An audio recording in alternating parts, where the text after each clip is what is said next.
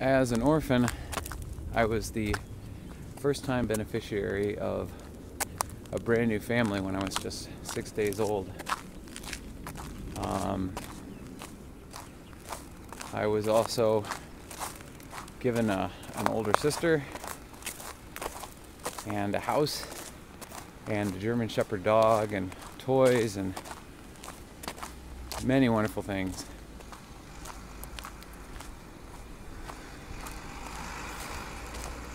I was pretty lucky and I feel grateful for the opportunities it afforded me. Uh, other children born at that at the Willows Hospital, born as orphans, were sometimes there for weeks or months.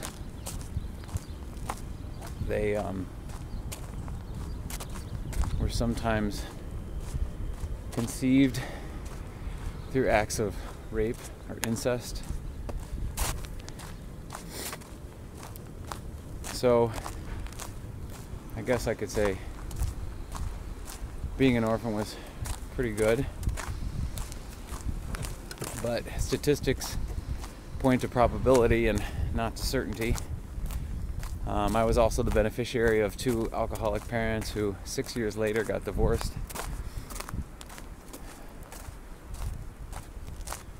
When I was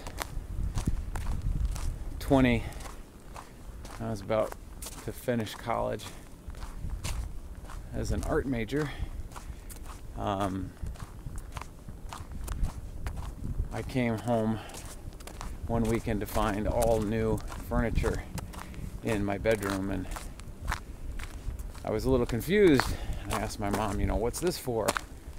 And she said, well, after you graduate, you know, you're gonna need some new furniture. And I realized at that point that she was making the assumption that I was gonna be living at home.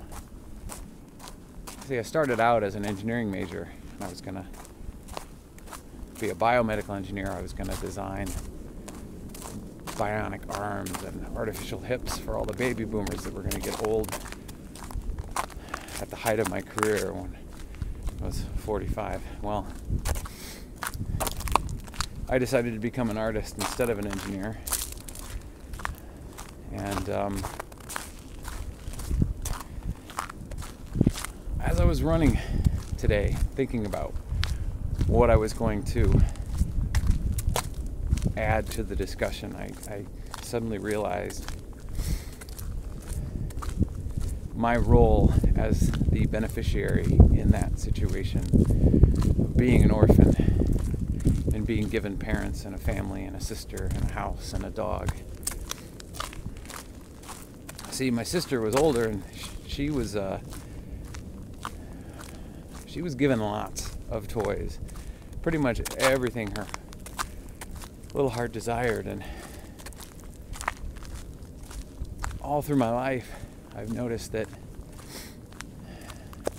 my mom, being a single parent, maybe this started even before then, but she oftentimes wanted to go out and get something to take care of the problem. Sometimes that was new furniture, sometimes that was a bottle of vodka. And sometimes that was a little child. I think benefactors have expectations that are placed on the beneficiaries that are not acknowledged and deep rooted down it wasn't a very comfortable realization for me to think of myself as possibly a thing that would make a marriage better, make a family better. And when I decided to deviate from the script, I met with a lot of resistance. And I also think about this project, you know, you're writing a book and you're seeking assistance from all these people and I along with hundreds thousands of other people are your benefactor Amanda. And what type of relationship that sets up? It's profound. Um,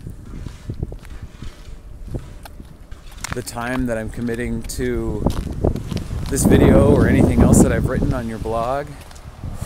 And that's time I'm not spending on my own creative endeavors, but I do it openly and willingly and without expectation. And I think that is the spirit that many other people have. But not everybody. Oh, excuse me.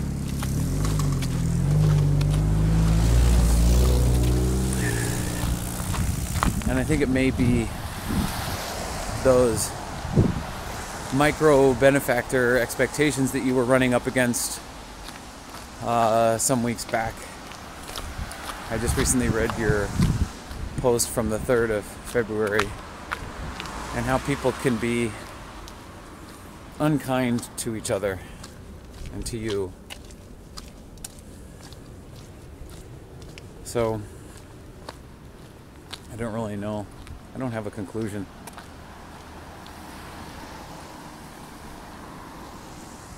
I'll just end it.